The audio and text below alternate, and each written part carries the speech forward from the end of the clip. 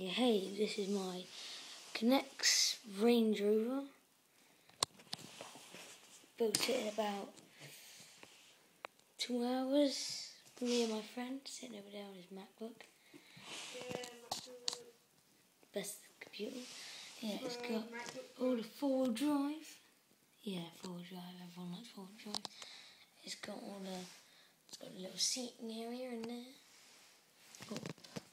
Oh, kind of six-wheel drive because it's got two tires on the back and bigger one on the front. Okay, bye. Please subscribe and leave a comment.